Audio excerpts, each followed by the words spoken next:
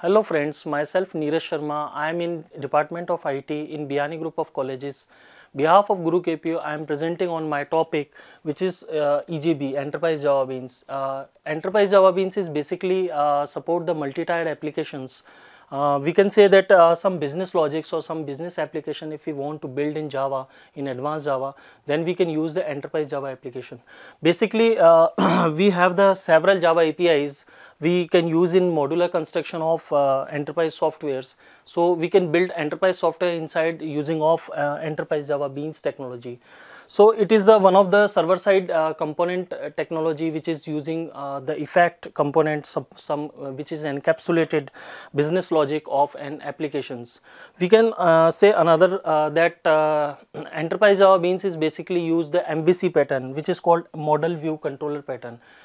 we can say that basically in Java previously we have lot of things, lot of softwares was there but uh, the desktop application was there, uh, the web application was there and the another we can say that uh, uh distributed applications there. So EJB basically used in distributed applications uh, on that time we can say that enterprise application or business applications we can build into the enterprise Java beans.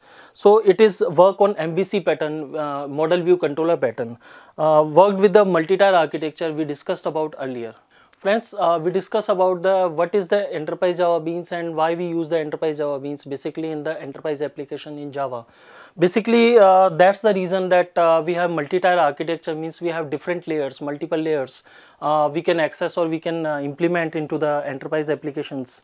So we can say that uh, for different applications like bean classes, we have specific type of APIs we use which is built in particularly to the EJB part or to particularly bean part. So we can say that uh, we have client server architecture. So basically when the client send the request to the server, uh, then this request to be forwarded to the web server and after that web server to be forward this request to the specific type of bean server which is called uh, enterprise java beans container.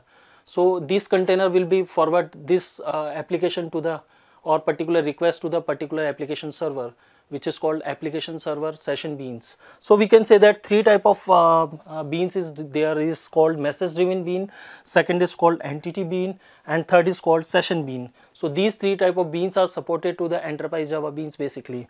We we can say that specific type of APIs we can use uh, for different beans implementations. Friends, uh, let's discuss about the three type of beans. Uh, we already discussed we have a three type of beans like entity beans, message driven beans and session beans.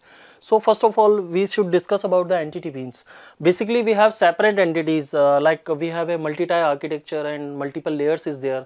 So we have different type of layers and these layers have the separate separate entities and these entities are, have the different bean classes and these bean classes will be uh, find the some specific type of functionality and these uh, functionality can be send the request to the particular uh, bean APIs using of bean APIs to the particular specific EJB server. Basically we use this EJB container uh, to get the information from the web server and uh, proceed it to the particular uh, application server.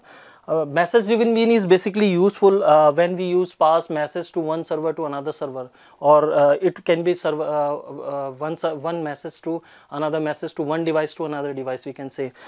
Session bean is basically useful when we maintain the sessions. It means if we are having some kind of specific type of particular sessions like specific time the page should be open or web page should be open on a particular time then we can maintain the session. So these type of uh, beans we can use it. Uh, let's discuss the EJB architecture. What is the EJB architecture basically? We have lot of things in EJB architecture but basically we should be know about uh, first of the basic thing uh, how we can uh, define the EJB structure. First of all we should know about the client server architecture, how the client should be send the information to the web server or send the request to the web server. Then this web server we send information to the EJB server.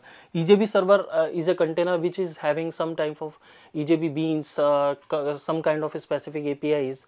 So uh, furtherly it will be proceed to the application server and this database part uh, which is managing to the application server, it can be distributed database or maybe some data mining or database, uh, we can say data warehousing may be uh, used inside this web server. So we should be know about that how we can uh, implement the all the structure or all the information from one place to another place or one message to another message. Friends, for uh, thanks for watching this video. Please like, comment and share and uh, don't forget to subscribe your YouTube channel and visit our website gurukpo.com. Thank you very much. Thank you so much.